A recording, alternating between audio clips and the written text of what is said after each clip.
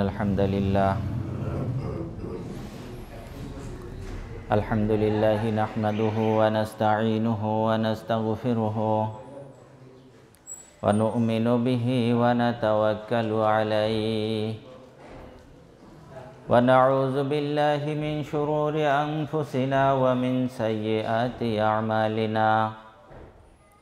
من يهده الله فلا مضل له ومن يضلله فلا هادي له.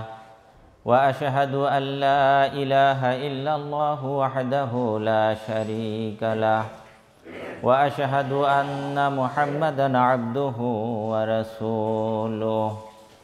أما بعد فإن خير الحديث كتاب الله وخير الهدي هدي محمد صلى الله عليه وسلم. وشر الأمور محدثاتها وكل محدثة بدعة وكل بدعة ضلالة وكل ضلالة في النار. أما بعد وقال سبحانه وتعالى في القرآن الكريم أعوذ بالله من الشيطان الرجيم. بسم الله الرحمن الرحيم. قل يا أهل الكتاب تعالوا إلى كلمة سواء بيننا وبينكم. ألا نعبد إلا الله. ولا نشرك به شيئا. ولا يتخذ بعضنا بعدا أربابا من دون الله. فإن تولوا فقولوا أشهد بأننا مسلمون. وقال تعالى في آية أخرى أعوذ بالله من الشيطان الرجيم بسم الله الرحمن الرحيم وما يؤمن أكثرهم بالله إلا وهم مشركون رب اشرح لي صدري ويسر لي أمري واحلل عقدة من লিসানি يفقهوا قولي যাবতীয় প্রশংসা আল্লাহ সুবহানাহু তাআলার জন্য যিনি আমাদেরকে জুমার সালাত আদায় করার জন্য মসজিদে আসার তৌফিক দান করেছেন, আমরা সকলেই বলি আলহামদুলিল্লাহ। দুরুদ এবং সালাম বর্ষিত হোক নবী মোহাম্মদুর রাসুল্লাহ সাল্লাহ আলী ওয়াসাল্লামের উপরে, শান্তি বর্ষিত হোক, আমরা যারা জুমার সালাতে হাজির হয়েছি, আমাদের সকলের উপরে। আমার আলোচনার বিষয়বস্তু হচ্ছে শির। আজকে হচ্ছে দ্বিতীয় পর্ব। গত জুমায়ও এই বিষয় নিয়ে আলোচনা করেছিলাম। শিরিক এটা একটা বড় একটা অধ্যায়। তো ভূমিকাই আলোচনা করেছিলাম গত জুমায়, এই জুমায়ও সেই একই অবস্থা। অর্থাৎ আমরা যে শিরিক সম্পর্কে জানব, জানার দরকার, এই, এইটাকে উদ্বুদ্ধ করার জন্য, এই কেন আমরা আসলে শিরিক সম্পর্কে জানব, তারপরে কোন বিষয়গুলো শিরিক শিরিক কোথার থেকে আসছে, এগুলো নিয়ে পরে আলোচনা করব ইনশাল্লাহ আজিজ। তো আমরা গত জুমায় একটু, গত জুমার আলোচনার একটু টাচ দিই। সেটা হলো যে আমরা গত জুমায় আলোচনার মধ্যে এইটা শুনেছিলাম যে যদি আমরা শিরিক করি, তাহলে আমাদের কি কি ক্ষতি হবে বা কি ধরনের সমস্যার মধ্যে আমরা পড়ব? তো এক নম্বর সমস্যা হচ্ছে যদি আমরা শিরিক করি, তাহলে আমাদের আমল নষ্ট হয়ে যাবে। আমল নষ্ট হয়ে যাবে। সুরা জুমারের পঁয়ষট্টি নম্বর আয়াত আল্লাহ রবুল্লা আলম বলছেন, লাইন আশরক্তা লাহবাতন্না আমালুকা। হে রাসুল, যদি তুমিও শিরিক করো, তাহলে তোমার আমল বাতিল হয়ে যাবে। তাহলে নবী রাসুলদের জন্যই আল্লাহ রব্বুল্লা আলমিনের এই নির্দেশ। আমাদের জন্য কি? একই নির্দেশ আমাদের জন্য। যে আমরাও যদি জেনে অথবা না জেনে, মনে করতে পারেন যেটা আমার ওয়াজান্তে হয়ে গেছে। শিরিক জিনিসটা ওয়াজান্তে করলেও কোনো ক্ষমা নাই। কিছু পাপ আছে, যে পাপগুলো আপনি ওয়াজান্তে করলে আল্লাহর কাছে ক্ষমা চাইলে আল্লাহ ক্ষমা করবেন। কিন্তু শিরিক এমন একটি পাপ যা আপনি ওয়াজান্তে করলেও আপনার কোনো ক্ষমা নেই। এই জন্য শিরিক সম্পর্কে আমাদের জানতে হবে, যাতে করে আমরা শিরিকের মধ্যে না ঢুকে যাই এবং আমাদের আমল নষ্ট না হয়। এই যে কষ্ট করে আমরা মসজিদে আসলাম, আমাদের আমলটাকে ভারী করার জন্যই তো, ভালো আমল করার জন্যই আমরা মসজিদে এসেছি। তো এই মসজিদে আসার পরেও যদি আমার এই আমলটা আমল নামায় না থাকে, তাহলে এই মসজিদে আসার দরকার কি? যারা বাড়িতে ঘুমিয়ে আছে, তারা তো আমাদের থেকেও ভালো আছে। সুতরাং আমাদের আমল যেন নষ্ট না হয় আর শিরিক করলে আমল নষ্ট হয়ে যায়। দুই নম্বর হচ্ছে, আল্লাহ রব্বুল্লাহ আলমিন ক্ষমা করবেন না।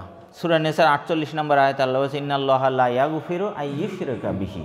যারা শিরিক করবে, আল্লাহ রবুল আলমিন তাদেরকে ক্ষমা করবেন না। এছাড়া আর যত পাপ আছে, আল্লাহ ক্ষমা করবেন। তবে হ্যাঁ তওবা করলে মাফ হবে।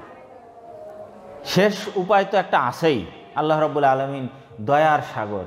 সুতরাং আমাদের জন্য একটা সুযোগ আছেই। তারপরেও আমরা সচেতন থাকব যেন আমাদের দ্বারা বিন্দুমাত্র শিরিক ঘটে না যায়, কারণ আল্লাহ ক্ষমা করবেন। আর আল্লাহ যদি ক্ষমা না করে, তাহলে পরিণাম কি হবে? তিন নম্বর হচ্ছে সুরাত অবর আঠাশ নম্বর আয়ত আল্লাহ রবুল্লা আলমিন বলছেন যে, এই যারা শিরিক করে, এরা হচ্ছে অপবিত্র। ইন্নামাল মুশরিকুন আর নাজাসুন। অর্থাৎ মুশরিকটা হচ্ছে অপবিত্র। তারা গায়ে যতই সাবান ঘষুক না কেন, বাহ্যিক দৃষ্টিতে যতই পাক পবিত্র সেন্ট আতর মাখে আসুক না কেন, আসলেই তাদের অন্তর কি? অপবিত্র। আর যারা এই মুশরিক, যারা শির্কের সাথে জড়িত, আপনিও থাকতে পারেন, আমিও থাকতে পারি। কারণ আমার হয়তো গোপনীয়ভাবে যা দেখা যায় না, শরীরে একটা তাবিজ ব্যবহার করা আছে। তাহলে আমি কি? আমি কিন্তু মুশরিক। যদিও বাহ্যিক দৃষ্টিতে আপনারা দেখতেছেন না যে না বিরাট বড় পাক্কা মুসল্লি। কিন্তু ভিতরে দেখবেন অনেক হুজুরদের হাতে কোমরে মাজায় তাবিজ ঝুলানো থাকে। তো আল্লাহ বলছেন, ইন্নামাল মুশরিকুনা নাজাসুন। এরা তো অপবিত্র। অবশ্যই অপবিত্র, সামান্যতম শিরিকের সাথে যারা জড়িত আছে, তাদের অন্তর অপবিত্র। বাহ্যিক দৃষ্টিকে যতই তারা পবিত্র হোক না কেন। এরপর আল্লাহ বলছেন যে ইউকার রিবনাল মাসাজিদ আল হারাম। এই যারা মুশরিক, তারা মসজিদে হারামের নিকটেই আসতে পারবে না। তো এইটাও তো মসজিদ হারামের একটা অংশ, নাকি? তাহলে আপনি, আমি যদি কোনো রকম শির্কের সাথে জড়িত থাকি, তাহলে এই মসজিদে আসা আপনার আমার জন্য হারাম। আল্লাহ নিষিদ্ধ করেছেন যে এদের জন্য এই মসজিদ নয়। তাহলে অবশ্যই আমাদেরকে শিরিক সম্পর্কে জ্ঞান অর্জন করতে হবে, যাতে আমরা শিরিক থেকে বেঁচে থাকতে পারি। চার নম্বর হচ্ছে, আল্লাহ রবুল্লা আলম সুরম বাহাত্তর নম্বর আয়তে বলছেন, যে জান্নাত তাদের জন্য হারাম। যে জান্নাতের জন্য আমরা পাগল, যে জান্নাত আমাদের সর্বোচ্চ আকাঙ্ক্ষা, সে জান্নাত যদি আপনার আমার জন্য হারাম হয়ে যায়, তাহলে ওই মুশরিকের জন্য যদি জান্নাত হারাম, ওই হিন্দু, বৌদ্ধ, খ্রিস্টান, তাদের জন্য যদি জান্নাম জান্নাত হারাম হয়ে থাকে, তাহলে আমি মুসলিম হয়ে আমার জন্যও যদি জান্নাত হারাম হয়, তাহলে আমার মুসলিম সে যে লাভটা কী? এই হালাল, হারাম বেঁচে চলে আমার লাভটা কি? যা পাবো তাই খেয়ে যাব। সুতরাং সেই কাঙ্ক্ষিত লক্ষ্য যে জান্নাত আমাদের, এই জান্নাত আল্লাহ রবুল্লা আলম বলছেন যে ব্যক্তি ইন্নাহুমা ইউশরিক বিল্লাহ ফাকাদ হার্রাম আল্লাহ আলাইহিল জান্না যে ব্যক্তি শিরিক করবে, আল্লাহ রব্বুল আলমিন তার জন্য জান্নাতকে হারাম করে দিবেন। আর জান্নাত যদি হারাম হয়ে যায়, তাহলে আপনার, আপনি দেখেন যে ষাট বছর, আশি বছর, সত্তর বছর আপনি বেঁচে থাকলেন। দুনিয়ার জীবনে বহুত আরাম আয়েস করে আপনি দিন অতিবাহিত করতেছেন। কিন্তু মৃত্যুর পরে যে যন্ত্রণা, যে অনন্তকাল আপনার পিতা চলে গেছে, খবর নাই। দাদা চলে গেছে, খবর নাই। তার উপরে আরও কত লোক, সে আদম আলাইসাল্লাম থেকে আজ পর্যন্ত যারা জাহান্নামে গেছে, তাদের তো শাস্তির কোনো ঘাটতি নেই। কবরের মধ্যে তারা আজাব ভোগ করতেই আছে। আর আপনার যদি একটু কেটে যায়, ওইখানে মলম লাগিয়ে কি করে এই যন্ত্রণা থেকে মুক্তি পাওয়া যায়, সেজন্যই কিন্তু আমরা সদা সর্বদা ব্যস্ত থাকি যে কি করে আমরা এর থেকে মুক্তি পাব? তাহলে দুনিয়ার সামান্য একটু যন্ত্রণা আমরা বেশিক্ষণ রাখতে চাই না। অথচ অনন্তকাল যে যন্ত্রণা ভোগ করতে হবে, সে ব্যাপারে কিন্তু আমরা একেবারেই উদাসীন। আমাদের কোনো খেয়াল নেই। সুতরাং যাতে আমাদের জন্য জান্নাত হারাম না হয়, সেই জন্য আমাদের কি করতে হবে? শিরিক সম্পর্কে জ্ঞান অর্জন করতে হবে, জানতে হবে, শিরিক থেকে বেঁচে থাকতে হবে। পাঁচ নম্বরে আল্লাহ রবুল্লা আলমিন বলছেন যে, যারা মুশরিক, যারা শিরিক করে, তাদের জন্য ক্ষমা চাওয়া যাবে না। তাহলে দেখেন, আমার পিতামাতা যদি মুশ্রিক থাকে, তাহলে তাদের জন্য আমরা ক্ষমা প্রার্থনা করতে পারব না। বা আমি যদি মুশ্রিক হই, তাহলে আমার জন্য আরেকজন ক্ষমা প্রার্থনা করবে না। আল্লাহ রবুল্লাহ আলমিন বলছেন সুরাত আবার একশো তেরো নম্বর আয়াতে মাকান আলী নাবি গিয়ে নবীদের জন্য এটা উচিত নয় ওয়াল্লাজিনা আমানো আর যারা ইমান এনেছে, তাদের জন্য এটা শোভনীয় নয়। এটা উচিত নয় যে আইয়াস্তাগ ফিরুল মুশরিকিন। যারা মুশরিক, যারা শিরিক করে, তাদের জন্য ইস্তেকফার কামনা করবে। ক্ষমা প্রার্থনা করবে। এইটা কোনো নবীদের স্বভাব নয় নবীদের জন্য উচিত নয় এবং কোনো ইমানদারদের জন্য এটা উচিত নয়।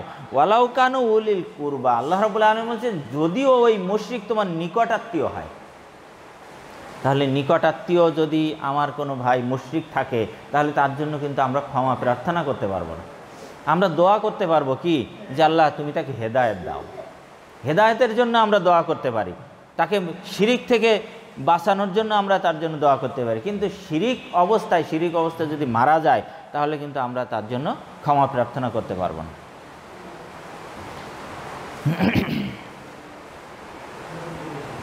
হজরত ইব্রাহিম আলাইসাল্লামের পিতা, তার নাম কি ছিল? আজর। সুরা আনামের চুয়াত্তর নম্বর আয়াত আল্লাহ বলছেন ওয়াইজ কালা ইব্রাহিম আবিহি আজারা অর্থাৎ ইব্রাহিম আসাল্লাম তার পিতা আজরকে বললেন।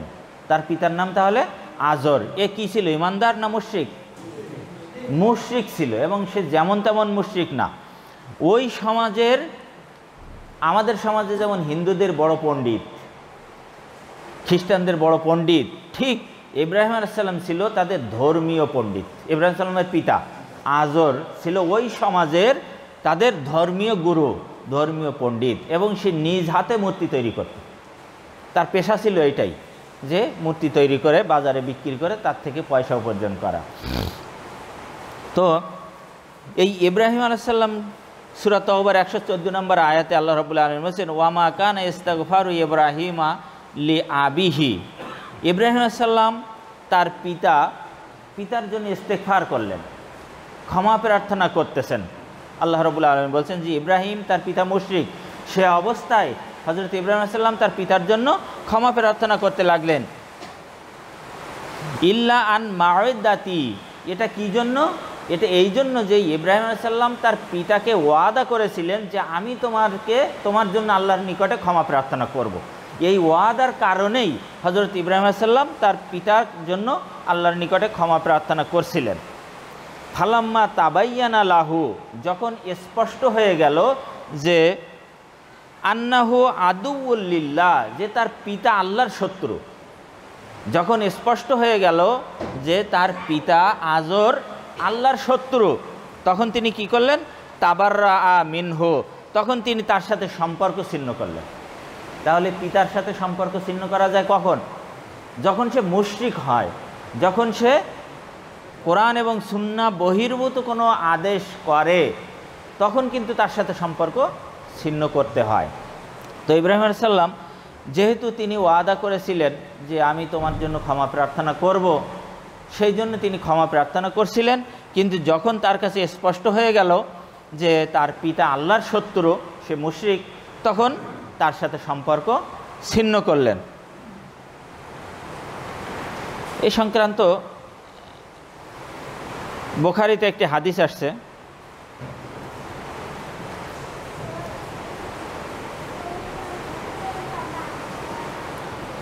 তাহিদ পাবলিকেশনের তিন হাজার তিনশো পঞ্চাশ নম্বর হাদিস। আবু হরাইরা রদি আল্লাহ তালু থেকে বর্ণিত রাসুল্লাহ সাল্লাহ সাল্লাম বলেন, কেয়ামতের দিন ইব্রাহিম আসাল্লাম তার পিতা আজরের সাথে দেখা পাবেন। তার পিতার সাথে দেখা হবে হজরত ইব্রাহিম আসাল্লামের আজরের মুখমণ্ডলে কালি এবং ধুলাবালি থাকবে। তখন ইব্রাহিম আসাল্লাম তাকে বলবেন, আমি কি পৃথিবীতে আপনাকে বলিনি যে আমার অবাধ্যতা করবেন না? তখন তার পিতা বলবে, আজ আর তোমার অবাধ্যতা করব না। মানে আজকে আর করব না। পৃথিবীতে যা করেছি করেছি। আজকে আর করব না। বুঝতে পেরেছে যে আমার আর উপায় নাই। এই জন্যই স্বীকার করতেছে যে আজকে আর আমি তোমার অবাধ্যতা করব না। অতপর ইব্রাহিম আসাল্লাম আবেদন করবেন, হে আমার রব। আপনি আমার সঙ্গে ওয়াদা করেছিলেন যে হাসরের দিন আপনি আমাকে লজ্জিত করবেন না। আমার পিতা আমার পিতা রহম হতে বঞ্চিত হবার চেয়ে বেশি অপমান আমার জন্য আর কি হতে পারে? মানে আমার পিতা জাহান নামে যাচ্ছে, তোমার রহমত থেকে বঞ্চিত হচ্ছে, তো এটা আমি নবী হিসাবে আমার জন্য একটা অপমান। এটা ইব্রাহিম সাল্লাম সেদিন আল্লাহ রব্বুল্লা আলমিনকে বলবেন। তখন আল্লাহ রব্বুল্লা আলমিন বলবেন যে আমি কাফেরদের জন্য জাহান, জান্নাতকে হারাম করে দিয়েছি। কাফেরদের জন্য জান্নাতকে হারাম করে দিয়েছি। অতএব তোমার পিতা হচ্ছে কাফের। তুমি যতই আবেদন করো, নিবেদন করো, তুমি যতই লজ্জিত হও, অপমান বোধ করো, এটাই কাজ হবে না। পুনরায় বলা হবে, হে ইব্রাহিম, তোমার পদতলের দিকে তুমি তাকাও। অর্থাৎ ইব্রাহিম সাল্লাম তখন তার পায়ের দিকে তাকাবেন, নিচের দিকে তাকাবেন, পিতার দিকে তাকাবেন। তখন তিনি দেখবেন যে তার পিতার জায়গায় সর্বাঙ্গে রক্তমাখা একটি জানোয়ার পড়ে রয়েছে। তার পিতার আর চিহ্ন নাই। পিতা এখন একটা রক্তমাখা জানোয়ারে পরিণত হয়ে যাবে। অর্থাৎ পিতাকে ধরে জাহান নামে দেবে এটা দেখতে অনেক কষ্টকর ব্যাপার, অপমানকর ব্যাপার। এই জন্য সাথে সাথেই এ আজরের চেহারা পরিবর্তন হয়ে যাবে। একটা চতুষ্পদ রক্তমাখা জানোয়ারে পরিণত হবে। তখন তার হাত এবং পা ধরে জাহান নামে ফেলে দেওয়া হবে। বোখারির তিন হাজার তিনশো পঞ্চাশ নম্বর হাদিস। তাহলে দেখেন, নবী হয়েও কিন্তু নবীর পিতাকে রক্ষা করতে পারছে না। দুনিয়াতে তো পারে নাই, আর পরকালেও আবেদন করার পরেও আল্লাহ রব্বুল্লা আলমিন তার আবেদন কিন্তু গ্রহণ করেন নাই। একদা আমাদের নবীকেও এরকম। এটা হচ্ছে মুসলিম শরীফের তিনশো চুরানব্বই নম্বর হাদিস। এক ব্যক্তি এসে জিজ্ঞাসা করল, ইয়া রসুলাল্লাহ, আমার পিতা এই দান করেছে সাতকা করেছে, আত্মীয়তার সম্পর্ক ভালো রেখেছে, এরকম অনেক গুণাগুণ বর্ণনা করেছে। করার পরে বলছে যে, আমার পিতা তো মারা গেছে, তো সে জান্নাতে না জাহান্নামে? কোথায় আমার পিতা? তখন রাসুল্লাহ সাল্লাহ সাল্লাম বললেন, তোমার পিতা জাহান্নামে। মানে এত কিছু ভালো কাজ করার পরেও কোথায় গেছে? জাহান্নামে। এরপর বর্ণনাকারী বলছেন যে, লোকটি যখন মানে তার চেহারা মলিন করে ফিরে যাচ্ছিল, তখন আল্লাহর আল্লাহর নবী তাকে আবার ডাকলেন, ডেকে বললেন, শোনো, আমার পিতা এবং তোমার পিতা উভয়ই জাহান্নামে। তাহলে আল্লাহর নবীর পিতা কোথায়? জাহান্নামে কেন? মুশরিক ছিল। এই কারণেই সবচাইতে বড় পাপ হচ্ছে শিরকের পাপ। যদি কোনো ব্যক্তি শিরিক করে তওবা ব্যতীত মারা যায়, তাহলে কিন্তু তার সেই পাপ আর ক্ষমা হবে না। সে কিন্তু জাহান্নামে যাবেই যাবে।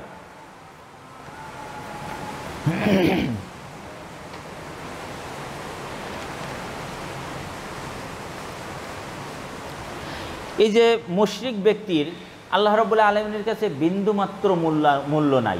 যারা মুশরিক, আল্লাহর কাছে বিন্দুমাত্র মূল্য। দেখা যাচ্ছে আমাদের দেশে মুশরিকরা শত শত তালা বিল্ডিং করতেছে। পৃথিবীতে তারা শান শওকতের মধ্যে আছে, পৃথিবী শাসন করছে। কিন্তু তারা মূলত কি? মুশরিক। ফেরাউনের কথা আমরা শুনেছি, ইতিহাস বলে যে প্রায় চারশত বৎসর রাজত্ব করেছিল। তার চাইতে অধিক সময় রাজত্ব পৃথিবীর আর কোনো মানুষ করে নাই। সেই ফেরাউনের অধপতনটা কীভাবে হলো? এগুলো দেখে তো মানুষের শিক্ষা হওয়া উচিত যে না, আমাকে একদিন একদিন আল্লাহ রবুল্লা আলমিনের কাছে ফিরে যেতেই হবে। আল্লাহ রবুল্লা আলম অসংখ্য আয়াতের মধ্যেই এই কথাই বলছেন, সুম্মা ইলাইনা তুর যাওন অতঃপর আমার নিকটেই তোমাদের প্রত্যাবর্তন।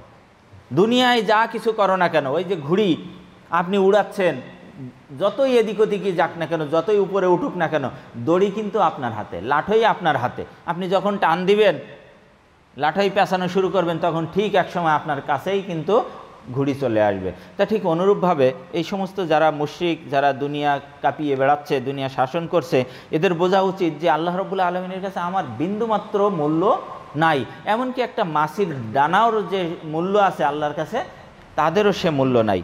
আল্লাহ রবুল্লা আলমিন একটা উদাহরণ দিয়ে বোঝাচ্ছেন যে ওমাই ইশরিক বিল্লাহ যে ব্যক্তি শিরিক করবে আল্লাহর সঙ্গে, ফাঁকা আন্নামা খর্রা মিনা সামায়ে তার উদাহরণ হচ্ছে এমন, সে যেন আসমান থেকে পড়ে গেল। এরপরে ফাতাহতাফুহু তয়রো এরপর একটা পাখি এসে তাকে সো মেরে নিয়ে গেল। আও তাহবিবির রিহি অথবা এক বাতাস, প্রচণ্ড বাতাস এসে তাকে উড়িয়ে আরেক জায়গায় নিয়ে ফেলে দিল। এরকম হলো একটা মুশরিক ব্যক্তির উদাহরণ আল্লাহ রবুল্লা আলমীর নিকট। অর্থাৎ আসমান থেকে পড়ে গেল, এরপর যেখানে পড়ার কথা সেখানে পড়লে হয়তো তার কিছু অস্তিত্ব পাওয়া যেত, সে অস্তিত্বও তার পাওয়া গেল না। পাখি ছো মেরে নিয়ে গেছে। এরপরে অথবা প্রচণ্ড বায়ু তাকে অন্য কোথাও নিয়ে গেছে। অর্থাৎ তার কোনো অস্তিত্ব পেল না, কেউ বুঝতে পারল না। আমি আপনি যদি গুম হয়ে যাই, তাহলে যদি লাশটা পাওয়া যায়, তবুও তো আত্মীয় স্বজনরা বুঝবে যে না লাশটা পাওয়া গেছে, তার একটা অস্তিত্ব পাওয়া গেছে। কিন্তু যদি কিছুই পাওয়া না যায়, তাহলে তার কি আর থাকে? কিছুই থাকে না। ঠিক অনুরূপভাবে আল্লাহ রবুল্লা আলম বলতে চাচ্ছেন, একজন মুশরিক ব্যক্তি এইভাবে যদি যে শিরিক করে, তার মূল্য আমার কাছে কিছুই নাই, তার কোনো অস্তিত্বই আমার কাছে নাই। যখন এই আয়াত নাজিল হলো যে মুশরিকদের জন্য কোনো নবী অথবা কোনো মুমিন ব্যক্তিরা ক্ষমা প্রার্থনা করতে পারবে না, তখন মুসনাদে আবি ইয়ালার পাঁচ হাজার আটশো তেরো নম্বর হাদিসের মধ্যে আসছে। ইবনে ওমর রাদি আল্লাহ তালন তিনি বলছেন যে, আমরা কবিরা গুনাহকারীদের জন্য ইস্তেকফার করা থেকে বিরত থাকতাম। শুধু শিরিক নয় মসজিদদের জন্য নয়, যারাই কবিরা গুনায় লিপ্ত থাকতো, ইবনে ওমর রাজিয়াল্লাহ বলছেন যে, আমরা এই ভয়ে যে আল্লাহ যেহেতু ক্ষমা প্রার্থনা করতে নিষেধ করছে, এই ভয়ে আমরা তাদের জন্য, কবিরা গুনাহকারীদের জন্য আমরা ক্ষমা প্রার্থনা করতাম না। এরপরে যখন আল্লাহর নবী এই কথা আমাদেরকে শোনালেন যে আল্লাহ রব্বুল আলমিন আমাকে দুইটা অপশন দিয়েছেন, যার একটা আমি দুনিয়াতে ভোগ করতে পারব, আর একটা পরকালে। যে দুইটা দুনিয়াতেই আমি দুইটাই ভোগ করতে পারব। তখন আল্লাহর নবী একটা দুনিয়াতে ভোগ করলেন, আর একটা পরকালের জন্য রেখে দিলেন। আর সেই পরকালের জন্য সেটা কি? ইবনে ওমর রাজি আল্লাহ তালন বলছেন যে আল্লাহর নবী বললেন যে আমি কবিরা গুনাহকারীদের জন্য সুপারিশ করব, এই অধিকারটা আমি কেয়ামতের মাঠে করব, এই অধিকারটা আমি রেখে দিয়েছি।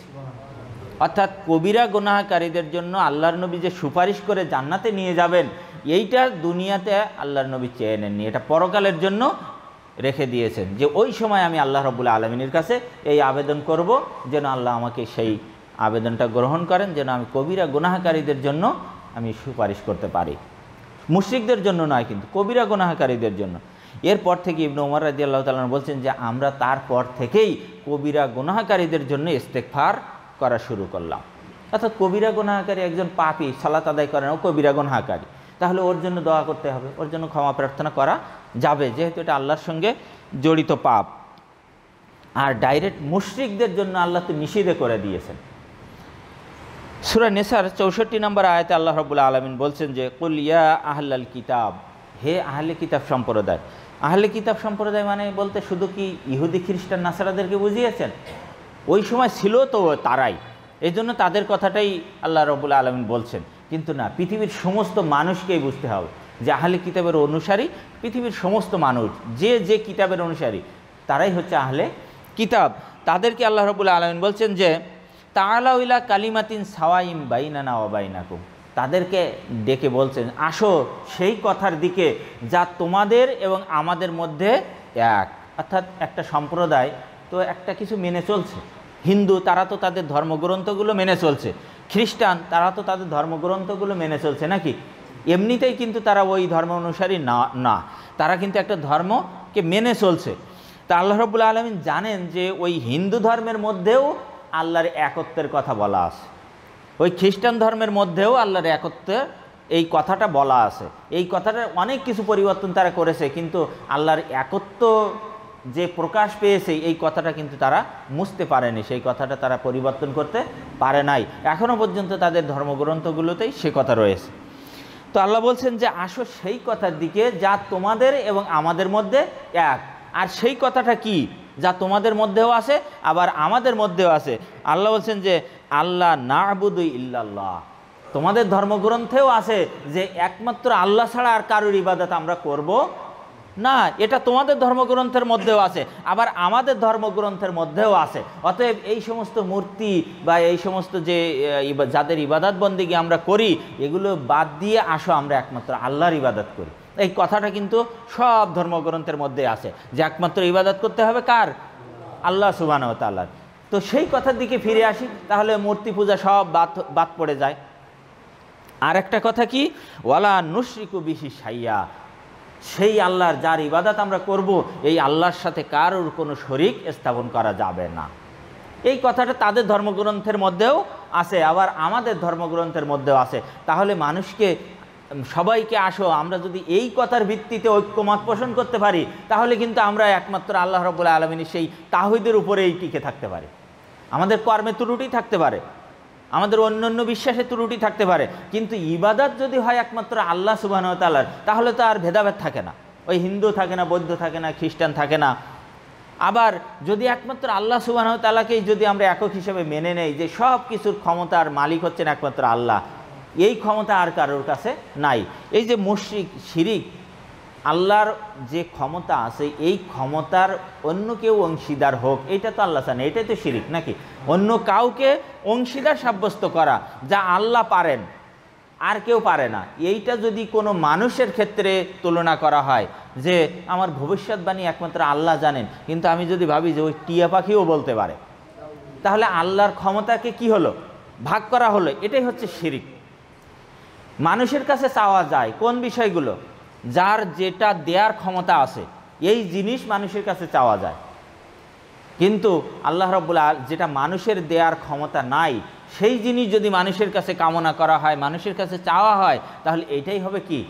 শির সুতরাং এর থেকে আমাদেরকে, এই জন্য আমাদেরকে জানতে হবে যে কি কাজে শিরিক হয় আর শিরিকের পরিণতিটা কি? তাহলে আমরা অবশ্যই সচেতন হতে পারব এবং শিরিক থেকে বেঁচে থাকার চেষ্টা করতে পারব। আল্লাহ রবুল্লা আলমিন বলছেন যে আর কি? ওয়ালা ইয়াত্তাখিজু বাদুনা বাদান আর বাবা মিন্দুনিল্লাহ আল্লাহ বলছেন যে, আর আমরা আল্লাহকে ব্যতীত অন্য কাউকে রব হিসাবে গ্রহণ করব না। আমাদের ভিতরে যেমন তারা অনেককে রব হিসাবে গ্রহণ করত। রবের যে গুণাবলী, রব যা করতে পারে, মানুষও তা করতে পারে। এই রকম ধারণা কিছু মানুষের মধ্যে ছিল। যেমন ফেরাউন, তার কিছু ক্ষমতা ছিল। সে যদি বলতো যে, এখন ভাটা হচ্ছে সে যদি বলতো যে এখন জুয়ার হবে, আল্লাহ রবুল আলম তাকে ক্ষমতাটা দিয়েছিল। যাতে করে মানুষ বুঝতে পারে যে, না, আসলেই সে যা যতটুকুন দেখাচ্ছে, এটা আসলে তার ক্ষমতা না, এটা একমাত্র আল্লাহ দিয়েছেন তাই। যেমন, আল্লাহর নবী যখন চাঁদকে দ্বিখণ্ডিত করলেন, হাতের ইশারায়, আল্লাহ বললেন, হাতের ইশারা দিয়েই চাঁদকে দ্বিখণ্ডিত করে দেবো আমি। তাহলে মূল ক্ষমতাটা কার? আল্লাহর, ফেরাউনের কিন্তু কোনো ক্ষমতা ছিল না যে জুয়ার ভাটা ওলট পালট করবে। এই ক্ষমতা ফেরাউনের ছিল না। মূলত এই ক্ষমতাটা আল্লাহ রব্বুল্লা আলমী তাকে দিয়েছিলেন কি জন্য? যে সে যেন ফিরে আসে। আমার কোনো কেরামতি নাই। এই ক্ষমতাটা দিয়েছেন আল্লাহ। সেই আল্লাহর ক্ষমতা আমি প্রয়োগ করলাম। কিন্তু ও কি করেছে? ও এই ক্ষমতাগুলো দেখিয়ে মানুষকে ধোকা দিয়েছে। আর কিছুই না। একজন মানুষকে ধরে এনে তাকে বলছে যে, তোমার জীবন এবং মৃত্যুর মালিককে? সেও যদি বলে যে, আল্লাহ। কেমনে বাসায় আল্লাহ তোমার দেখা যাক, আমি তোমাকে এখন হত্যা করব। এই বলে তাকে যদি হত্যা করে দেয়, তাহলে ও তো মারা যাবে। আশপাশের লোকজন চিন্তা করবে যে, এই মৃত্যুর মালিক তো ফেরাউন। কারণ এই তো ওকে মেরে ফেলল। আল্লাহ তো বাঁচাতে পারল না। কিন্তু তাকে যে ক্ষমতা দেয়া হয়েছিল, সেই ক্ষমতার অপব্যবহার করার কারণেই সে কিন্তু ফেরাউন হয়েছে। সে কিন্তু আল্লাহর শত্রুরে শত্রুতায় শত্রু হিসাবে পরিণত হয়েছে। তো এই ধরনের এই যে রবের কথাটা আসছে, এই রব ফেরাউনকে তখন তারা কি বলতো? রব হিসাবে বলতো, আমি হলাম আনা রব্য কুমুল আলা, আমি হলাম তোমাদের সবচেয়ে বড় রব। একথা সে নিজেকেই নিজে দাবি করত, যে আমি হলাম তোমাদের সবচেয়ে বড় রব। সুতরাং বড় রব হচ্ছেন কে? আল্লাহ। সুবাহন তালা তো আল্লাহ বলছেন যে, আমরা তোমরা কথাও মেনে নাও, এটাও তোমরা স্বীকার করে নাও যে আমাদের মধ্যে একমাত্র আল্লাহ ছাড়া আর কাউকে আমরা রব হিসাবে মানি না। ফাইন তাওয়াল্লাও এর পরে এই সমস্ত কথা বলার পরে যদি কেউ মুখ ফিরিয়ে নেয় যে না, আমার যা আছে তাই ঠিক থাকবে। আমি অমুককে গুরু হিসাবে মানি, ওই আমার ধর্মীয় গুরু। এরকম যদি কেউ বলে, তখন তাকে কি বলতে হবে? ফাকুলু, তাকে বলতে হবে যে, আশাহাদু, তুমি সাক্ষী থাকো যে বে আন্না মুসলিমুন, আমরা একমাত্রই মুসলিম। আমরা হলাম মুসলিম, একমাত্র আল্লাহ রব্বুল আলমিনকে রব হিসেবে স্বীকার করি এবং ইবাদাত করি একমাত্র আল্লাহ সুবাহ তালার আর কারও ইবাদাত করি না, আর কাউকে আমরা রব হিসাবেও স্বীকার করি না, আর তার সমকক্ষ আমরা আর কাউকে স্বীকার করি না। লাইসাকা মিসলিহি সাইন তার সমকক্ষ কিছু নেই, তার কোনো তুলনা নাই, তার কোনো উদাহরণ নাই। আলাম ইয়াকুল্লাহু কুফুয়ান আহাদ। অর্থাৎ তার কোনো সমকক্ষ পৃথিবীতে কিছুই নাই। সুরা লোকমানের ১৩ নম্বর আয়াতে আল্লাহ রবুল্লা আলমিন হজরত লোকমান আলাইসাল্লাম তার সন্তানকে এই শিরিক মুক্ত করা রাখার জন্য, তার জাতিকে শিরিক মুক্ত রাখার জন্য যে উপদেশ দিয়েছিলেন, আল্লাহ রবুল্লা আলমিনের এই উপদেশ অত্যন্ত পছন্দনীয়। সেই জন্য কেয়ামত পর্যন্ত মানুষের জন্য এই উপদেশটাই রেখে দিয়েছেন। আর প্রত্যেক পিতামাতার উচিত যে তার সন্তানদের সর্বপ্রথম এই উপদেশটাই দেয়া এবং সেই দিকেই মানুষকে তার সন্তানদেরকে গড়ে তোলা। সেটা কি? তেরো নম্বর আয়ত আল্লাহ রবুল্লা আলমিন বলছেন যে, ওয়াইজ কোয়ালা লোকমান উলি ইবনিহে স্মরণ করো সেই সময়ের কথা যখন লোকমান তার সন্তানকে বলল অহুয়াই আইজুহু ওয়াজের নসিহাতের সুরে নসিহাত করার উদ্দেশ্যে যখন তার সন্তানকে বলল, ইয়া বুনাইয়া, হে আমার সন্তান, লা তুশরিকু বিল্লাহ, আল্লাহর সঙ্গে কাউকে শরিক করবে না। ইন্না শিরকালা জুলমুন আজিমা নিশ্চয় শিরিক হচ্ছে সবচাইতে বড় জুলুম। এই যে উপদেশ, কার উপদেশ এটা? হজরত লোকমান আলহিসাল্লাম তার সন্তানকে উপদেশ দিয়েছেন। আমরা যারা বাবা হয়েছি, পিতা হয়েছি, আমরা কি আমাদের সন্তানদেরকে একবারও নিয়ে বসেছি? যে আমার সন্তান আল্লাহর সঙ্গে কাউকে শরিক করা যাবে না। আর কি কাজে শরিক হয়? কি করলে আল্লাহর সঙ্গে শিরিক হয়? এইটা কি কাউকে কোনোদিন বুঝিয়েছি? তাহলে আমরা তো দায়িত্ব থেকে মুক্ত হতে পারলাম না। সে কি করবে কে না করবে সেটা পরের কথা। আপনার অধীনস্থ, আপনার ক্ষমতা যত সময় পর্যন্ত আসে তত সময় পর্যন্ত তো আপনি তাকে বোঝানোর চেষ্টা করবেন। যে আমার সন্তানেরা, আল্লাহর সঙ্গে শিরিক করা যাবে না। যদি শিরিক করো, তাহলে অবশ্যই তুমি জান্নাত থেকে বঞ্চিত হবে। জান্নাত তোমার জন্য হারাম হয়ে যাবে। আর এটা হচ্ছে সবচাইতে বড় জুলুম। আমাদের উপরে আশপাশের প্রতিবেশী বা নানানভাবে সামান্য একটু জুলুম, অত্যাচার আসলেই আমরা সহ্য করতে পারি না। এদিক ওদিকে ছোটাছুটি করি, এটা সমাধান করার জন্য। আর আল্লাহ বলছে, শিরিকটাই হচ্ছে তার সাথে সবচাইতে বড় জুলুম। আর সেই শিরিকের সাথে আমরা কে না জড়িত আছি? আমরা কথার মাধ্যমে শিরিক করতেছি, আমরা কাজের মাধ্যমে শিরিক করতেছি, আমরা ইবাদাত বন্দিগির মাধ্যমে শিরিক করতেছি, আমরা এমনকি দান সৎকার মাধ্যমেও কিন্তু আমরা শিরিকের সঙ্গে জড়িয়ে পড়তেছি, অথচ সে ব্যাপারে আমাদের কোনো খেয়াল নেই, কোনো মানে আমরা একেবারেই উদাসীন। আল্লাহ রব্বুল্লা আলমিন যেন আমাদেরকে এই তৌফিক দান করেন, যেন আমরা আমাদের সন্তানদেরকে, আমরা যেন নিজেরাই আগে শিরিক মুক্ত জীবন যাপন করতে পারি, শিরিক সম্পর্কে সঠিক জ্ঞান অর্জন করতে পারি এবং আমাদের সন্তানদেরকে এবং আমাদের আত্মীয় স্বজনদেরকে আমাদের পাড়া প্রতিবেশীদেরকে আমরা যেন শিরিক সম্পর্কে সঠিক জ্ঞান তাদেরকে বুঝাতে পারি আল্লাহ সে তৌফিক দান করুন। সুরা ইউসুফ একশো ছয় নম্বর আয়াত আল্লাহ রবুল্লা আলম বলছেন ওমা ইউমিনু আকসার হুম বিল্লাহ ইল্লা ওয়াহুম মুশরিকুন। আল্লাহ রবুল্লা আলম বলছেন যে অধিকাংশ মানুষ আমার প্রতি ইমান আনে আমাকে বিশ্বাস করে তারপরেও তারা মুশ্রিক। এই কথাটা কার? আল্লাহ, তাহলে আপনি আমি নিশ্চিত বিশ্বাস করতে পারি যে আমরা শিরিক থেকে এখনও মুক্ত হইতে পারি নাই। হয়তো ইমান এনেছি। আল্লাহ তো বলছেন যে অধিকাংশ মানুষ আমার প্রতি ইমান এনেছে, আমাকে বিশ্বাস করে। এর পরেও তারা কিন্তু মুশ্রিক। তাহলে অবশ্যই দেখেন, আমরা হুজুররাই ইমানদার নাকি? বড় ইমানদার তো হুজুররা, ইমামতি যিনি করেন তিনিই তো বড় ইমানদার ওইখানের। এই হুজুর যদি তাবিজের ব্যবসা করে, এই হুজুর যদি এই কাজগুলো করে, তাহলে ওই হুজুর কি? বড় ইমানদারটাই তো মুশ্রিক। এই জ্ঞান কিন্তু আমাদের নাই। শুধু যে তাবিজ দিলেই মুশ্রিক হয়, তা কিন্তু নয়। দেখবেন যে অনেক হুজুর, এই এলাকারই এক হুজুর, খুব ভালোবাসে যাকে, সে একদিন গেছে, নাম বলব না, কয়, হুজুর, একটু পানি পড়া দেন। পানি পড়া নিতে গেছে। যাওয়ার পরে কয় আধা ঘণ্টা ধরে হুজুর কি যেন পড়ল, কোরআন তেলাওয়াত করল, অমুক পড়ল, তমুক পড়ল, আধা ঘণ্টা ধরে তারপরে ফু দিয়ে দিস এই দেওয়ার সাথে সাথেই কাজ হয়ে গেছে। এই যে বিশ্বাস, এই যে আঁকিদা, কারণ ও আমাকে ভালোবাসে, আমার প্রতি দুর্বলতা আছে, তাহলে ওর ফু শুধু সুরা ফাতেহা পড়ে দিলে হবে না। ওর সাথে যা না দিলে হয় না, তাও দিতে হবে। দিয়ে সময় নষ্ট করতে হবে যাতে ও আমার প্রতি আরও দুর্বল দুর্বল হয়ে যায়। যে না, হুজুর একেবারে আন্তরিকতার সাথে অন্তর দিয়ে আমার গ্লাসে পানিতে ফু দিয়ে দিছে। এইভাবেই কিন্তু আপনাকে, আমাকে তারা বিভ্রান্ত করতেছে।